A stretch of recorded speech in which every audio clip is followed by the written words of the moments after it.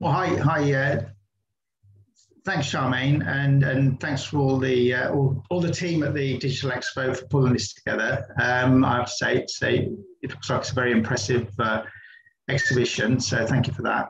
Um, so hi everybody, my name's Tim, Tim Holmes, and uh, I'm here to talk to you about grants and funding, um, and more specifically, how to find grants and funding for your business without the fear of, of missing out.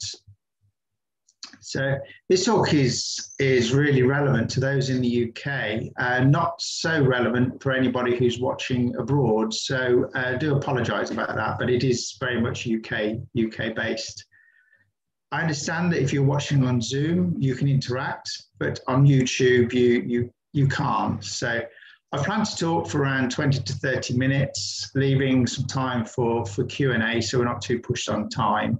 Um, if you uh, if you are on Zoom and you want to to interact interact, then absolutely fine. If you are on um, any any other method of, of um, communication, I, I, understand YouTube is, is, people are watching it on YouTube.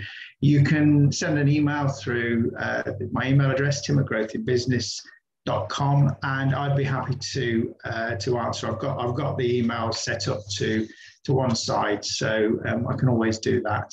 Um, so after, if you'd like to contact me, you're, you're more than welcome to. Here are all my, my, um, my contact details. Uh, it's company's called Growth in Business Limited.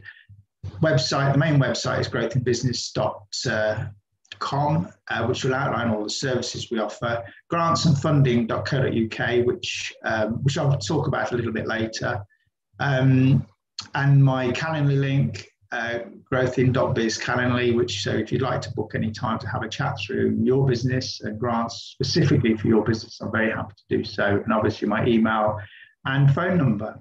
Um, and I'm going to use slides uh, basically because I trust my IT skills and I imagine things might start to go wrong. So I'm going to play it safe and, and just talk to you uh, with, with, just a background on um, and finally, I'd just like to say before we, we get started, I, I don't have all the answers, uh, but if if you do ask, ask a question I can't answer, I'll, I will be happy to go out, go and find the answer, um, let you know what it is. And, and to be honest with you, for, for me, that's just the way I, I believe we all learn. So I'm always happy to go and do some background work and, uh, and come back to you. So let's get, get started. So quick question really to everyone. Have you ever wanted to find out what grants and funding are available for your business, or you just don't know where to start? So if that's you, I'm going to show you how you can do this relatively easily.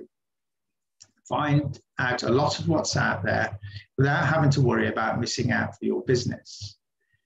So, so many times we will get a, an inquiry from a potential client um, where they've either invested in some form of a project um, and then it's retrospectively too late to claim a grant. They, the fund that they want to apply for has closed, so they've actually missed the deadline. Um, and or it's too close to the, the fund deadline to actually put a meaningful application together. Um, sometimes it's not really the application form, it's the fact that you you need a lot of, of, of, supporting documentation to go with it. And, and, and quite often we find businesses just don't have that, uh, don't have that documentation in place. And that quite often takes longer than the, the application itself. So I'll explain later how you can do all this, cover a great deal of what is available for, for businesses, um, hopefully you you won't miss out again. Um, and you could align your plans to take advantage of, of, of, what help and assistance is out there. So by the end of this session you'll be more attuned to what is available. Um, you know where to look and hopefully you won't miss out. At the end i'll explain about this this grants and funding.co.uk um, and then you can decide how we can continue our, our journey together. And hopefully, you'll be able to move your business forward in a far more financially efficient manner and avoid mistakes that a lot of business owners make by not being aware of what financial advice is out there for them. As said by American politician Donald Rumsfeld, you don't know what you don't know. And if you can add another phrase to that, you don't know what you don't know, and sometimes until it's too late. Hence, these people that come to us, and the uh, and we can't apply for, for any sort of grant for them. So again, an, another important question: Does what I'm actually going to share with you actually work?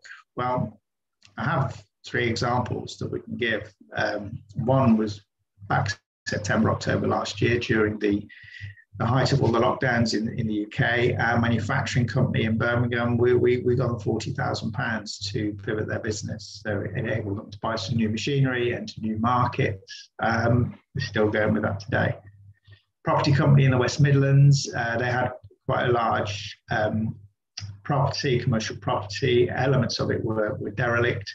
Um, so we got 185,000 pounds to bring that back to, to a working condition that that generated jobs, and um, and it and it brought which what what was derelict commercial space back into to usage.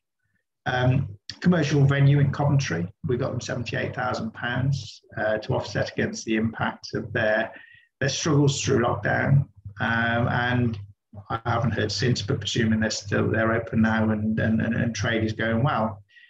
So all of these are clients that use our services. And that's over £300,000 of money we raised just for these three clients alone. I suppose you ask the question, why? Because we alerted them to the opportunity. But they could have done it themselves, and when we totally accept that, possibly they didn't because they just didn't know where to look, or they didn't have the time to do it. Uh, and I know in some cases they were just wrapped up with with what was going on at the time in their in their business. So who am I? Um, my name's Tim Holmes. I'm a owner of multiple businesses and founder of Growth in Business. We're now becoming the place to go for information on grants and funding. Um, and now, quite excitingly, we're in a position to, to take on consultants around the country. So, starting next month, hopefully, we'll have more presence around the country and, and be able to help more businesses. I've got 35 years experience in running my own businesses. Uh, three of them I've, I've got past a million pound in, in, in turnover. Um, so I've, I've accumulated quite vast experience in the in the SME market um, and how you know how to go about running small businesses. Um, I have to say not not everything has gone to plan, um, but I've probably learned more when it's not gone to plan than I have when it has. Um, I've invested in a business education to, to back up the experience. I have an MBA, I've got an ILM level seven in leadership and management, and various other courses. One quite notable course was a six month business growth course at Warwick University, all of which come in very handy when it when, when we're looking at helping businesses and certainly in, in, in applying for, for grant funding. So I'm independent. I have no links with anyone. I'm also self-funded, so I'm not part of any government organisation. I'm not governed by any boundaries or any restrictions, and I can give good, honest advice so long as it's legal. I'm not FCA regulated, so if these products are ever required, I have partners who, who can assist in regulated advice and delivery of such products. The reason I started in Business was I was shocked to find out about 15 years ago how much I didn't know. So back around 15 years ago, I, I carried out a project for myself, which was about half a million pound investment.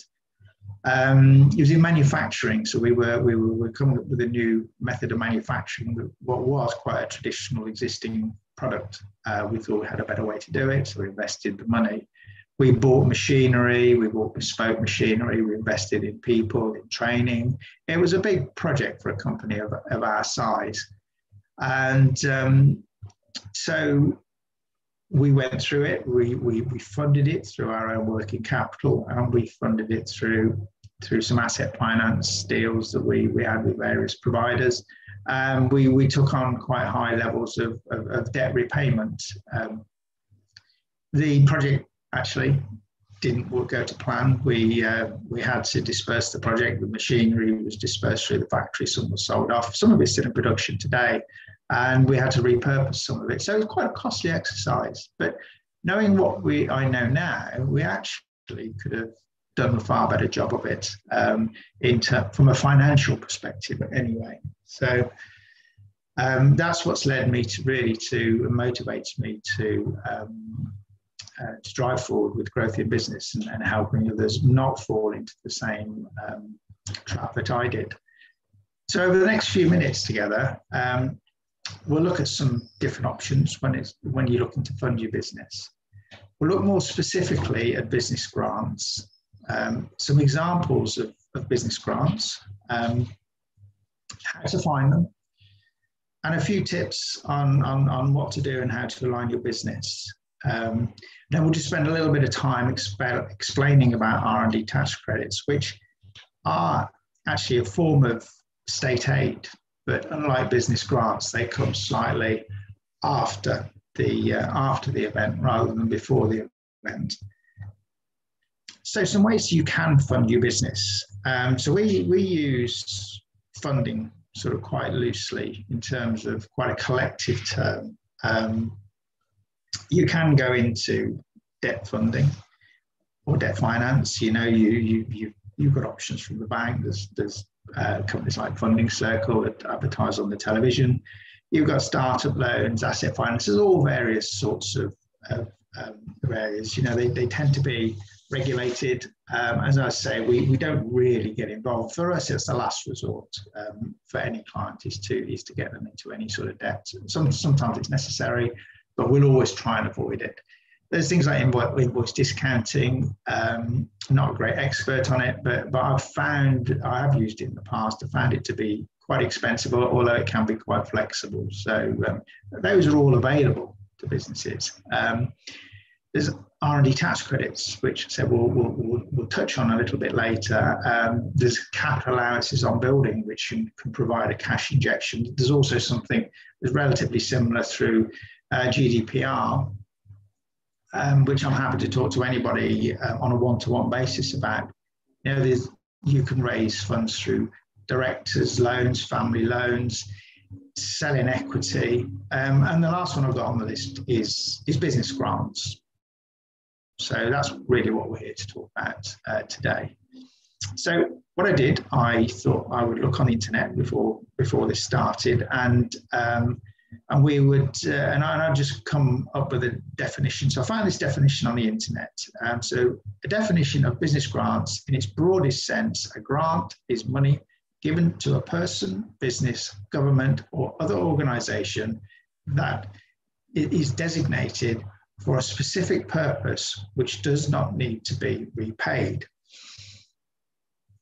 So I suppose that raises the question who, who supplies them? Well, you know, a lot of them will come through down through government, uh, central government, or, or traditionally um, European money. Some some people may have heard of ERDF funds, which were European funds, um, and it's quite interesting when you read uh, read some of the um, strategic plans that are laid out by the um, by local authorities, combined authorities, and, and, and, local enterprise partnerships, where you you see how money will, will, will, will cascade down to to actually individual grant individual grant funds. Um, this tends to make it quite fragmented and quite difficult to um, to find these, these, these specific grants, especially when you, when you when you need them, and it can be quite a time-consuming exercise. Um, most of them will have to be match funded. So we often get calls saying, I want a grant, um, and people are expecting 100% of any sort of project to, to have um, to be funded by a grant, which is not, it's not the case. So we always say to anybody that comes on, you really need to, to have a, a specific pro- project for us to look at. And, um, and you know we can then try and match you with a grant. I think some of the one some of the grants that are available, like the ten thousand pound grants um, through COVID, where you were you know if you claim small business rates relief, you could claim this money off the local authority. They they did give a slight false impression. Um, obviously they were a benefit to a lot of businesses, but but it did give a false impression to to to moving forward what what what would be required. So so match funding is definitely I'd say pretty much definitely a part of of any sort of thought process that you're going to have with business grants. You're going to have to have some form of qualification criteria. You know, do you have a project? What is the project? You know, you've got to align it to what the fund is required. You know, there, there can be quite stringent um, criteria attached to um, to a fund. Um, quite often, again, we will get people come on to us and they'll, they'll want to apply for it. But when you actually sit down with them, you spend 20, 15, 20 minutes, half an hour talking um, and going through the criteria, actually the realization hits that, that, that basically they're, they're, they're not going to uh, qualify anyway. So, um, you know, so so really, it is worth spending a little bit of time reading about the the um, qualification criteria. Um, they can be quite area specific. Um, if we go back to what we just said earlier about the, the local enterprise partnerships and the combined authorities that come up with these strategic plans, you know, they, they will differ from area to area. So we could look for a grant for a company in, say, Birmingham, for example, where I do know that you know they they they, they want to stimulate the, the sort of the creative sector of the economy. You may go to to um, another area where they want to stimulate manufacturing, say for example, because they're they're not so big on on on the creative side. So, or, or there may be a more rural economy. So, you'll quite often find that um, that you know what grant is available in one specific area is not necessarily available in another.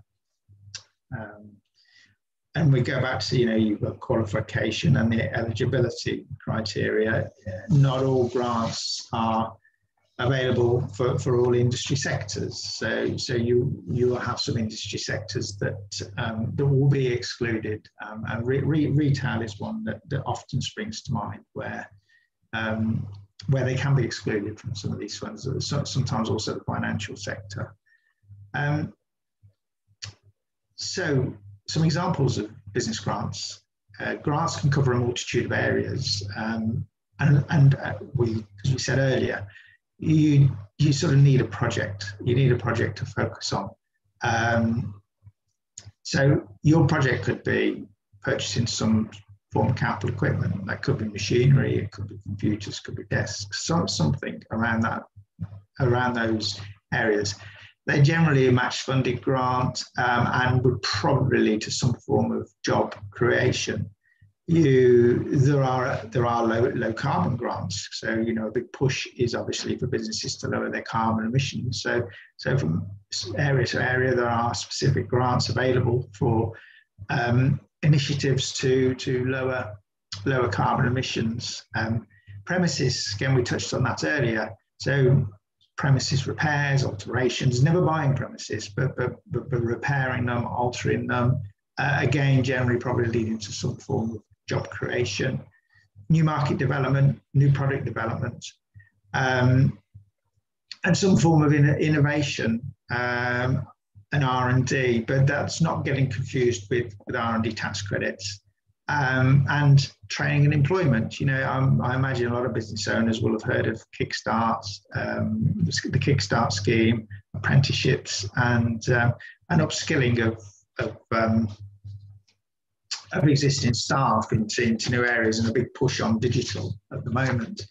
Um, I've got a, a list here of of grants. I, I get one every week of, of grants to come. I just picked out a couple here. Um, one of them is a, an ad, AdSmart SME support scheme where, where, where there's support for 100 small UK businesses that want to get into TV advertising. So, you know, these grants can be sometimes quite obscure, but, but obviously with that, there's is more probably of a competition, so you're going to have to qualify. There's a one that came out, an update on a, a circular economy fund for manufacturers in Wales to transition towards the, the circular economy, um, and a, a, digital growth program in Leicestershire, um, which is which is based on, on, on upskilling and training through workshops and seminars in the Leicester and Leicestershire area in, in the area of digital. So there's all sorts of grants going on there. I mean, this this this report here is eight pages long, but you know, we we also deal with non-for-profit, so you'll find the non-for-profit sector has quite a quite a substantial amount of grants available to them, um, probably more so than the, the business side. So, how how do you find out what grants are available? And and and and for a lot of people, that that is the biggest problem. Because the market is so fragmented, you know, it's it's very difficult to say any one particular place where to look for, for grants. So going back to what we said earlier, you know, how how do you not miss out? Um, and really, my advice there is to to look in your local area, your local council, your your your, your um, local enterprise partnership, your local growth hub, maybe your local chamber, any organisation like that that operates locally. I would subscribe to their newsletter they they will they are more than likely if you if you continually read their newsletter, then you um, you will locally have a good idea on, on, on what help and, and, support is available. Um, if you then look out into your wider industry sector, just to give you a couple of examples, if you are, say, a creative business, you might want to subscribe to a newsletter through the, the Arts Council um, for example. That will give you all, you know, a, a good idea, a good flavour of what support is out there for the arts. If you're a, a learning, um, digital learning, there's, there's a um, there's an organisation called UFI VocTech, um, which again um, concentrates on funding for digital learning. So that you know you can again subscribe to their newsletter and and be kept up to date. So the advice really would be to, to, to, to, look locally, find out and subscribe to all the newsletters you can on that, and also then to look on your industry sector and subscribe to newsletters on that. And then through time, you know, you you will be kept up to date with what uh, what is available, and then hopefully you, you won't miss out. The other alternative, and that's where organisations like ourselves come in, is we have a thing up there, it's harder than it looks, which says grantsandfunding.co.uk.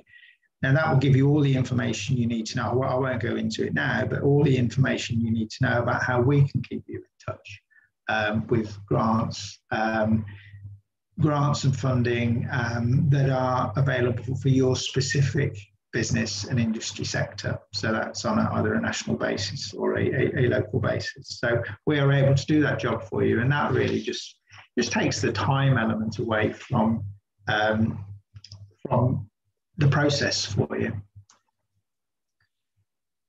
So I've just broken down a few tips here really to try and help make sure that you you are kept aware. So to make sure you're aware, we've just been through to make sure you're aware of what's available for your business. Um, if we if you just did what we just spoke about there, um, and I have to say that that you know if you've got a specific project coming up, then that can be a great ROI, um, either investment in your time or money um, in terms of what you could get back from doing that. So um, so that that really can be a very positive um, positive exercise to, to carry out. So once you've got this information, um, my advice to you would be to think ahead.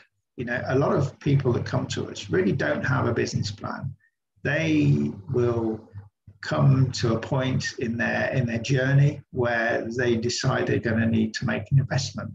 Now, if you can if you can roughly predict that investment, so sitting down at the start of a year and work out a plan that maybe in November you might need to buy this machine or you might need to do this particular activity, then you can be aware and you can try and plan around that for what grants could be or are available. And it might be that if you get a notification that something comes up in two months before that, that, that you could bring your, your plans forward slightly and actually make them far more far more cost effective for you. So always worth planning ahead. So once you've got the information, you've planned ahead, Um, and then make sure what match funding is required because sometimes you have to prove ahead of time about what funding that you do actually have. So in that instance, you might need to, to, to make plans for how are you going to get this match funding in, into, your, into your business. So that, that can take a little bit of time. And those people that, that leave these type of things to the last minute haven't got time to, to, to make that consideration and, and, and, and make the appropriate arrangements. Um, I would also then make sure you read the small print and you fit the criteria. Because like I say, you know, so many times people will come to us and they'll, they'll want to apply for a grant. And, and if they were to take it upon themselves to do it, I mean, we would always look first and we would always do our due diligence first before we'd ever enter into something like that. But, you know, if you're doing that off of your own back, you know, you could go through all of that, um, all of that effort. And, and it is considerable effort at times. Um, and you'd never have, qualified in the first place. So uh, it's really good to, to, to read the small print and, and make sure you do fit the criteria. Um, to make sure you apply in good time. Uh, as I said before, you know, leaving this the last minute is not the wisest thing to do in this sense. You know, you, you end up putting quite a weak application together. You, you can't do the necessary research. You possibly don't get uh, all the supporting documentation, which, which could be sort of past accounts, forward cash flows, all of that sort of thing, um, which, which may well be required for you to support your, your application. Um, and this, as I said before, could be could take longer than the actual application itself. Um, and a final point really is to um, is to read the questions in the application form. You know, when you're when you're writing, uh, actually provide the information that that the funder wants to hear, not not not the information that you think you want to give. So, you know, we, we've we've had applications sent to us in the past where people haven't got the funding, and when you when you read read the application form, you know, either they they wanted a reasonable explanation. So if they, I think really the clue is if they want three, 500 words, don't write a sentence of 25 words, for example, because you'll never, you'll never cover the detail that is required. And, and when you do answer, stick to the, the points that they want to hear. Um, you know, if you, if you, if you do look through the, the forms as a whole, generally they're quite logical and they will, they will follow some form of a, a, a logical sequence. And, um, but do answer the, the questions that they, they want. So there's about half a dozen sort of pointers really um, if you are to if you want to apply for any any form of business grants.